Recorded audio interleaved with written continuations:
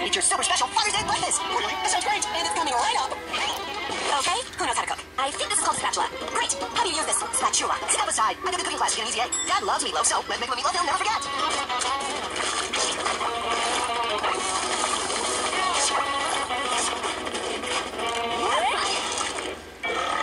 That was kind of fun. Now let's surprise your father. Ooh, meatloaf? Yes, I can't wait to eat it.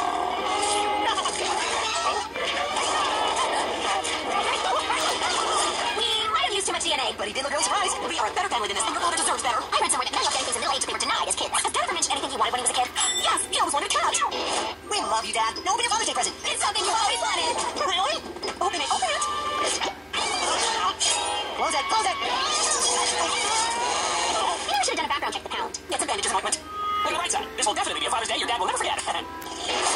Dads deserve a day of relaxation with some classical music while we do all your chores.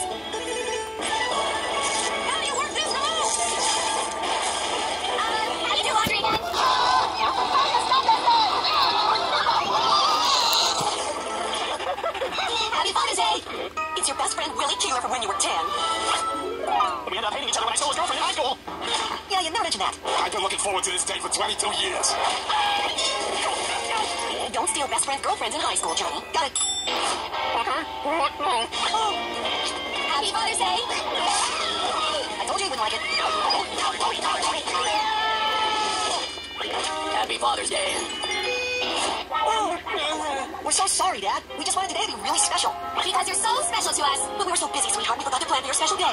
I just want to set the record straight. The next time I say I don't want anything for Father's Day, I don't want anything for Father's Day. Oh. Well, one thing's for sure. This is a Father's Day you'll never forget. And the best gift I could ever get is a family that loves me so much. We love you, Dad. Ow, ow, ow.